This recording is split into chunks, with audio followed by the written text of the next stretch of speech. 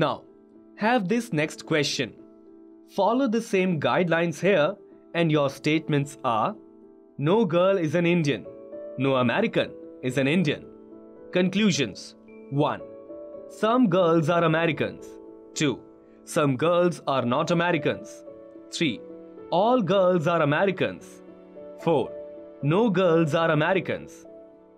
Give answer from these options. 1. Only one follows. 2. Only two follows. 3. 1 and 2 follow. 4. 2 and 4 follow. 5. None follows. Go on, Vidya. Okay, sir. I'll check each statement one by one. Before that, I'll write nature of all statements and conclusions. Both statements are negative in nature. Then conclusion 1 and 3 are positive, whereas 2 and 4 are negative. Then I'll give percentage to all subjects and predicate in given statements and conclusions. In statement 1, both subject and predicate are 100%. Same with statement 2. Now in conclusion 1, subject and predicate both are 50%. In conclusion 2, they are 50% and 100% respectively. In third one, they are 100% and 50%. And in last one, both are 100%. Hmm.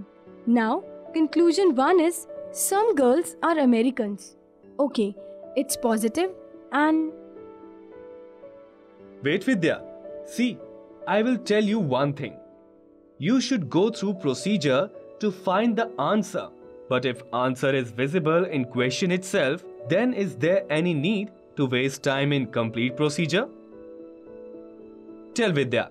It's clearly visible that both the statements are. And you know that negative negative statement do not conclude anything. okay. So here the answer will be option 5. None follows.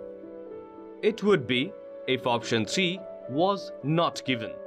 Look, Vidya, in such cases where two negative statements are given, you have to make sure of one thing that there are no two complementary pairs. Like here, conclusion 1 and 2, 2 and 3, and 1 and 4 are complementary pairs. That is, one is positive and the other is negative in nature. So here, answer will be either 1 or 2, 2 or 3, and 1 or 4 follows. But in options, it is given either 1 and 2 only. So, it's the correct option understood? Okay, sir.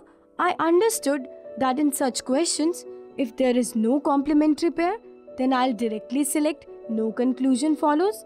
Otherwise, I'll answer the complementary pairs from them. Right, Vidya.